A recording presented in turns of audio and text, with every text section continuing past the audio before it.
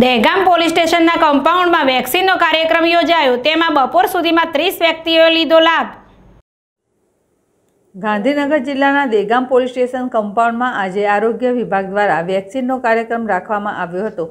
તેમાં બીજા તબક્કાના ડોજબા પોલીસ સ્ટેશનની આજુબાજુમાં રહેણાંક વિસ્તારના વ્યક્તિઓએ વેક્સિન રસી લીધી હતી.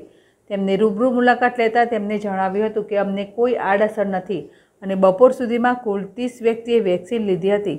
અને આમાં સીએસસી સેન્ટરના આશા વર્કર મીનાક્ષીબેન અને કોલેજના ટ્રેનિંગ આપતા બહેન દ્વારા રસી આપવામાં આવી હતી. અગરસિંહ ચૌહાણ જેડેશ ટીવી દેગામ